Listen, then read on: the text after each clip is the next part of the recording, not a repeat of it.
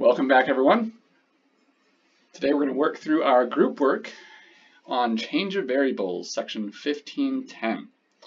To start off, uh, we have a integral and a transformation handed to us, and so we just need to work through this. Um, R is the region in the first quadrant bounded by uh, two hyperbolas and two lines. And so the transformation um, is given here, and uh, we can, at this point, um, start in and start translating.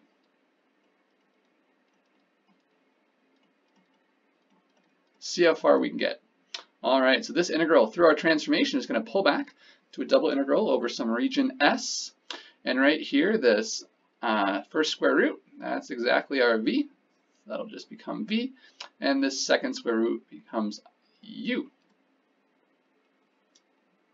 All right, so v plus u is what our function translates to, and we'll have uh, the absolute value of the Jacobian uh, du dv, and so we'll need to find the absolute value of the Jacobian. So for the Jacobian, though, right, we need to know the partial of x with, re with respect to u and with respect to v, and similarly yu and yv. And in order to find these, Right, we need our x equals and y equals equations, whereas here we have u equals and v equals, since we got a little bit of work to do to find those. All right, so um, let's start by getting rid of those square roots. So u squared equals xy, and v squared equals uh, y over x. If we'd like, we can uh, multiply both sides over here, solve for y. And uh, so over here on the left, uh, we have an equation x and y. If we want to get only x and u's and v's, let's take this equation where we have y and sub it in. So we get uh, u squared equals x times x times v squared. And so uh, dividing by v squared, u squared over v squared is x squared, and taking square root of both sides. Uh, technically, let's consider the possibility this could be plus or minus.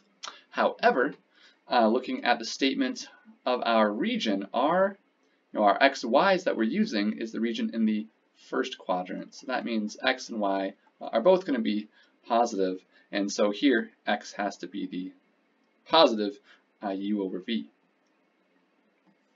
All right, in a similar way, uh, we can solve for what y equals. If we take uh, our equation here and solve it for x, what do we get? Uh, we get that u squared over y equals x.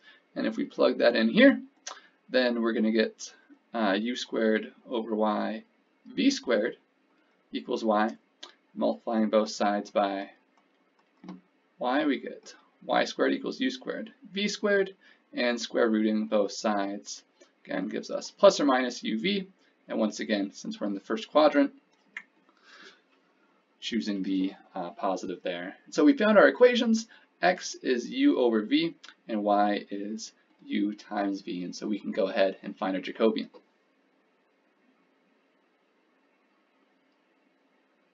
So x with respect to u is uh, 1 over v. With respect to v, uh, we're going to have negative u over v squared. And if we just take the v and slide it out to the numerator with a negative 1 exponent. y with respect to u is going to be v, and with respect to v is u. So working through this, we get uh, 1 over v times u. So u over v um, minus the negative u over v squared times v. So that's going to be plus. For our note's sake, I'll keep the minus the negative. Um,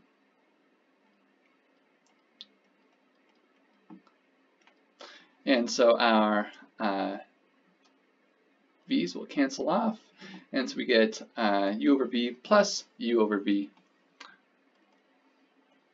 And so that's 2 times u over v.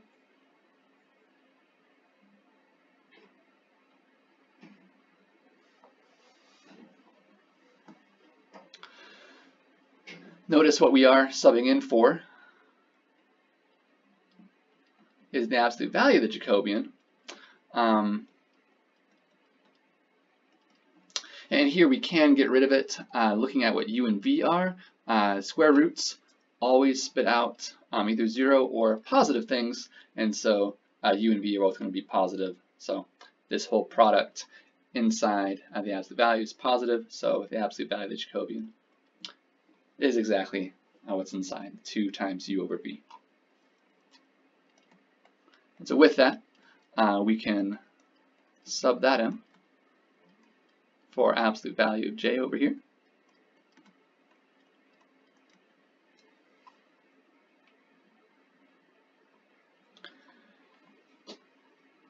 Next, uh, we need to figure out uh, the uh, boundaries of our region in the UV plane that our region here bounded by these hyperbolas and lines pull back to.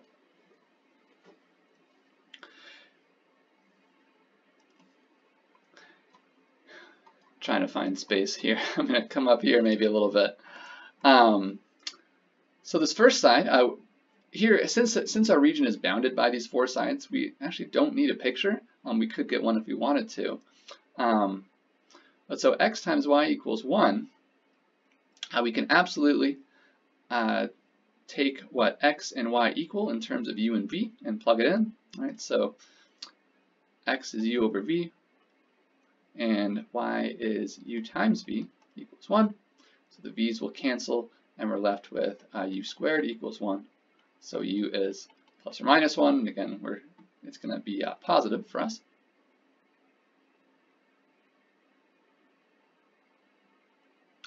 Faster way, though, is actually just looking at our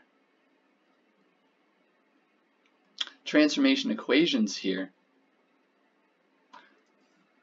Another way to see what's going on. Um, says u squared is x times y well, we have x times y equals 1, and so we can just right away swap that out with u squared equals 1, and then get our get our possibility for u. So that works as well. Uh, similarly, over here, the x times y equals 9. Uh, x times y is u squared. So u is plus or minus 9, and we'll take the positive. So we have those two sides with those pull back as. Uh, these other two, uh, we can also, as we did before, uh, take our equation for x and for y and plug those in. Um, here I think we can be a little bit tricky. Let me get a different color. So v squared is y over x, and so here we take this equation, uh, divide both sides by x, x y over x equals 1, and this equation, divide both sides by x, y over x equals 4. And so what do we get? Uh, v squared equals 1, v squared equals 4. And so again, since v has to be positive, uh, v is 1 and 2. And so it looks like since we're getting constants for these equations for u and v, uh, we're pulling back to a rectangle. maybe I'll, I'll draw that at least here. Right, so in the UV plane, and I just realized you've probably been twitching, wondering if I'm going to catch it. Um, u squared equals 9 gives us u equals 3. Good catch. Alright, so uh, u is 3 and u is 1. So 1 to 3 for u. And v is between 1 and 2. And so we get this rectangle here that we're wanting to move through. This is our S. Right? And so we get nice clean uh, limits of integration. Uh, we can just move uh, u from 1 to 2, 1 to 3.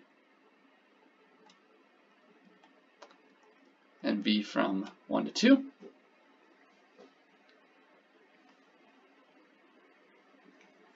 And we now just have a nice clean double integral to work through.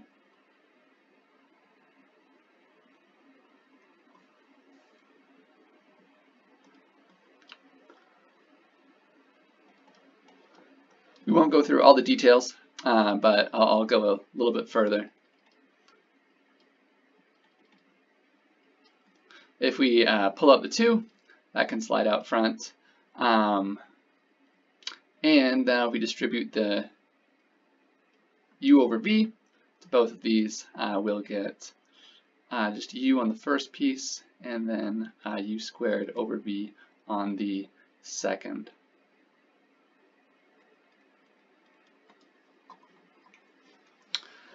Uh, so with respect to u, uh, this will be a pretty clean power rule and a differentiation.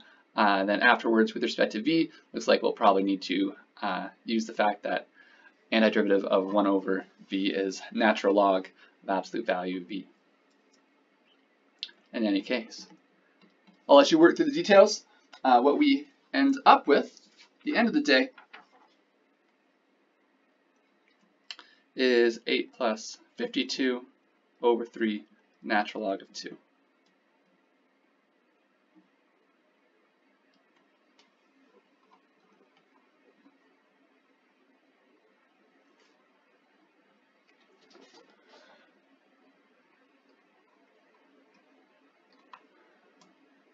All right, for our second one, we have a double integral over an ellipse. And so this ellipse is, um, I don't know, we don't have to graph it very exactly. There it is. That's not very exact. Something like that. We have some ellipse, right? It's not, not a clean uh, circle or anything like that. Um, so polar isn't right away fantastic option um, and neither is rectangular, but uh, with the transformation, uh, we can transform this ellipse, kind of squish it in and get a circle. There's different ways to do this. Um, the way I thought about it was, well, if we wanted to kind of essentially, instead of this equation, have an equation for a circle, right, something like u squared plus v squared equals, let's say, 36, uh, well then essentially we just like this uh, 9x squared to be u squared, and if this 4y squared was v squared, then we'd be all set. Then this would transform to a circle of radius 6 in the uh, UV plane, and we could use polar over there. All right, so here we're kind of discovering our transformation. Um, u squared is 9x squared, then we're wanting to let u be uh, 3x and v be 2y. That would make that happen. All right, so let's work with that. So starting our translation, our double integral over r is going to pull back to a double integral over our region S of x squared, and we don't know what x is yet. I guess we should solve for it. x is u over 3, and y is v over 2. And actually, we're done already. Uh, this is x in terms of u and v, and y in terms of u and v. And so that's nice and quick. So x squared becomes u over 3 squared times uh, the absolute value of our Jacobian, du dv. And so let's work out um, our Jacobian. All right, so our J is our determinant of our partials. And for us, x with respect to u is 1 third. With respect to v is 0. y with respect to u is 0. With respect to v is 1 half. So it looks like we're going to get uh, 1 sixth minus 0 and so the absolute value of j is the absolute value of 1 sixth, which is 1 sixth.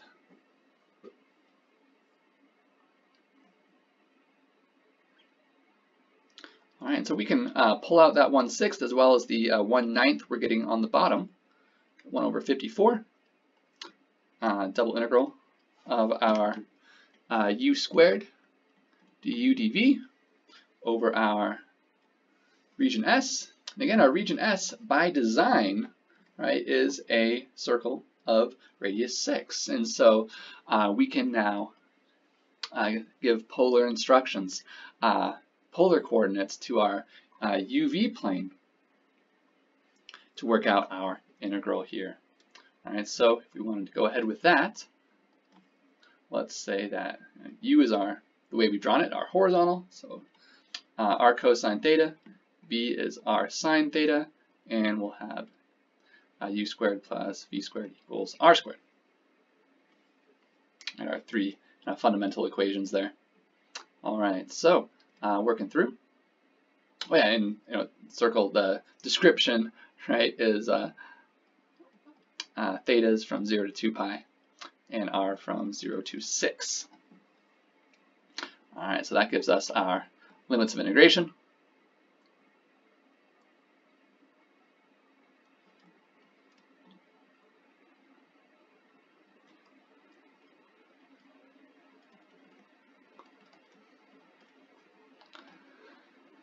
And so our u squared uh, becomes our r cosine theta squared. And then our uh, du dv becomes r dr d theta.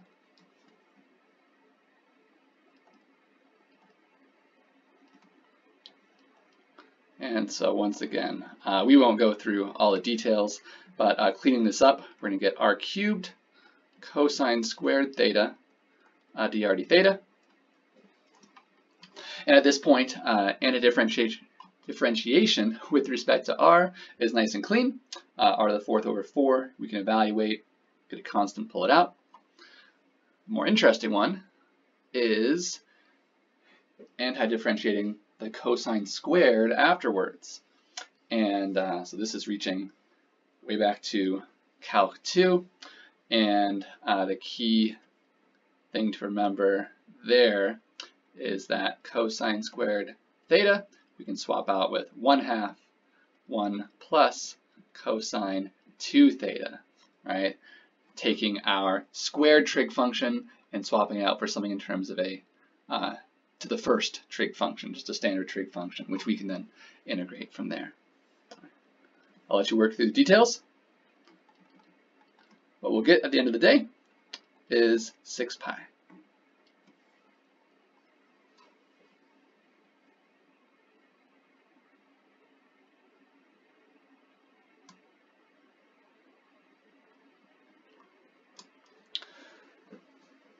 All right, our third integral, we are asked to use a transformation that's somehow suggested by our function to evaluate the integral.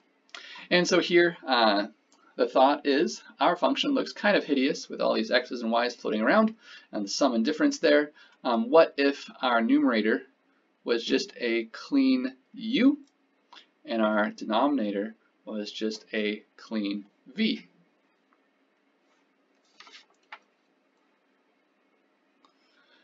Well, let's go with that. If that would sure clean up our function, right? Um, our integral uh, would uh, translate back over some region. We'd have e to the u over v times the absolute value of the Jacobian, the udv. And we could try and work that out. Well, let's just kind of, uh, let's see what we get for the Jacobian before we start integrating. All right, so and for our uh, Jacobian, we need the partials of x and y. Um, but we don't have those yet. We don't know what x and y are. We know the u is x plus y, and b is x minus y.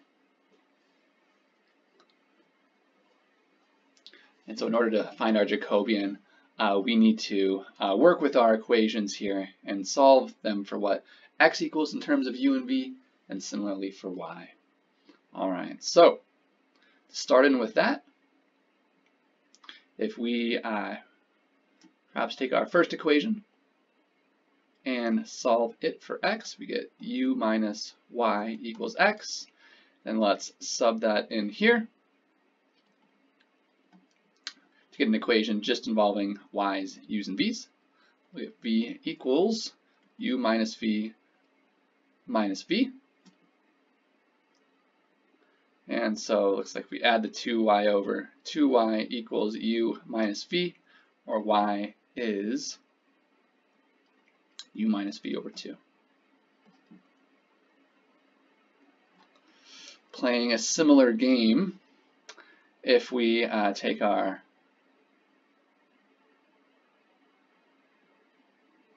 Uh, well, I suppose we could just take our first equation again. Um, if we want to solve this for y, we get u minus x equals y. And if we again plug that into our second equation, we're getting b equals x minus parentheses u minus x. So v equals the minus will turn into a plus for the x, which is nice. So 2x minus u. So it looks like we're going to get uh, u plus v divided by 2 equals x. All right. So from here, we are equipped to compute the Jacobian. Uh, the partial of x with respect to u is 1 half. With respect to v, also 1 half. y with respect to u is 1 half and with respect to v is negative 1 half. All right, so working through, uh, we're going to get negative 1 fourth for the uh, 1 half times negative 1 half, then minus 1 half times 1 half, so minus 1 fourth. So this is going to give us uh, minus 2 fourths, in other words, negative 1 half. And so the absolute value of the Jacobian is then positive 1 half which we can slide out.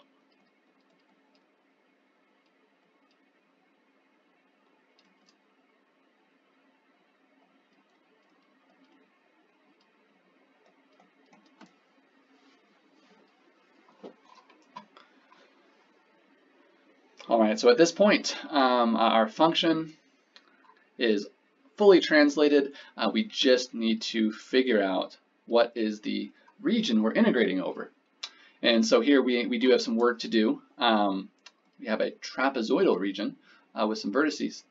And so let's uh, plot those, get our equations, and pull them back.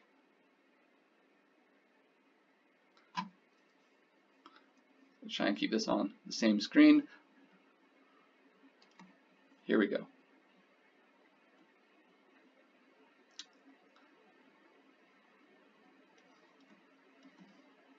So this is in the xy plane. Uh, we have 1, 0, 2, 0, 0, negative 2, and 0, negative 1. Alright, so connecting the dots here, uh, this is our region R. And we're wanting to see what this uh, pulls back to in the uh, UV plane. All right, so a couple of these sides are nice and clean. Uh, this top side is y equals 0, and over here is x equals 0. We'll take care of those first. Uh, y equaling 0, we can use um, any one of our you know, four equations. We have uh, u and v in terms of x and y, or we have y and x in terms of u and v.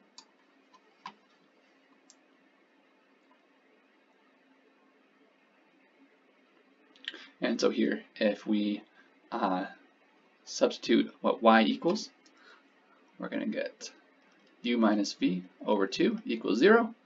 Multiplying by 2, adding v, we get u equals v.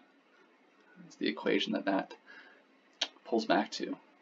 Similarly, swapping them for x, we have u plus v over 2 equals 0. And so multiplying by 2, uh, subtracting u over v equals negative u. So in terms of the uh, uv plane, if we want to graph it like this, uh, we get two lines here. u equals v as slope 1, and v equals minus u as slope minus 1. All right, two more sides to go.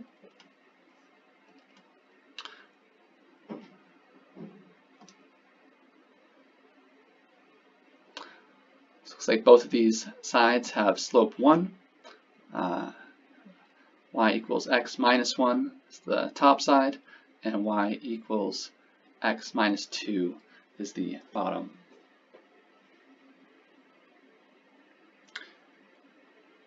And I'm just looking over to see if there's a, a, cleaner way to do this besides just subbing in for x and y. And I think that there is. Looking at our equations for u and v, it's like if we can mess with our equations and make an x plus y or an x minus y appear, we'll be in good shape. Um, and so here, if we subtract y and add the constants, we'll get 1 equals x minus y. And over here, we'll get 2 equals x minus y. And x minus y is v beauty. So real quick, uh, we can see we're getting v equals 1 and v equals 2. All right, so v equals 1, v equals 2. Those are horizontal lines.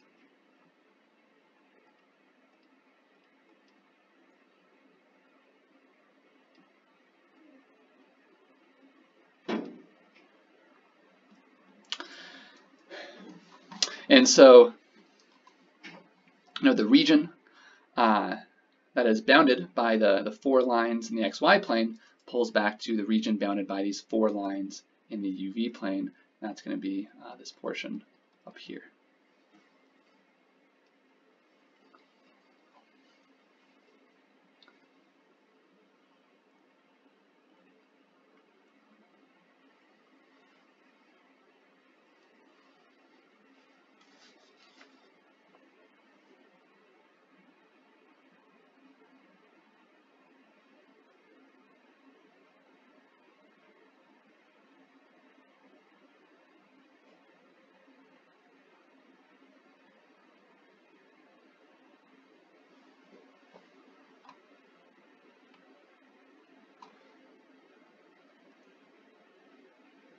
Just double checking myself. Stand by.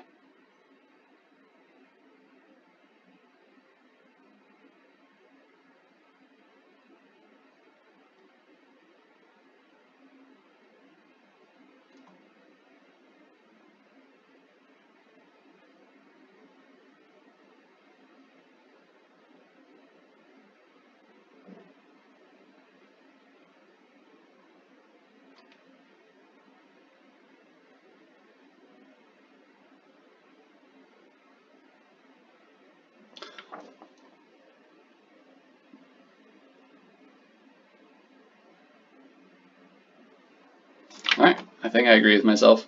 Um, let's continue. So here, uh, if we want to move through our region up here, uh, think about setting U or setting V. I think uh, setting V and moving U is going to be the cleaner way to think about this.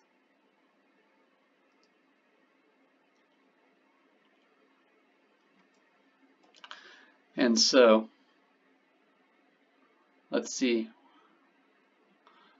we're always uh, starting u at our left-hand line here, right? So we're starting u at negative v. And over here we are ending u at v.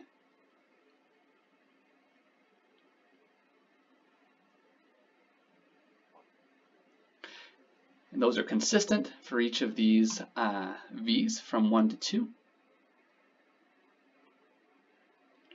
So we get our inside integral, inside limits.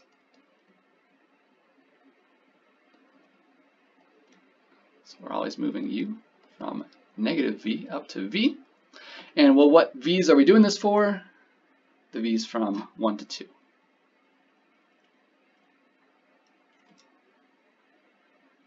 All right. And with that, yeah, we still have du, dv as uh, we don't need to switch those around because we moved u first. Uh, we've fully set up our integral. We can go ahead and compute, uh, just being uh, careful as we anti-differentiate our exponential. I'll let you work through the details. At the end of the day, what we end up with is 3 fourths e minus uh, e to the minus 1.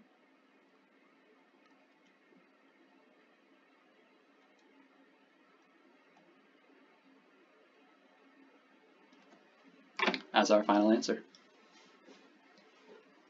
Good work today, everyone. I'll see you next time.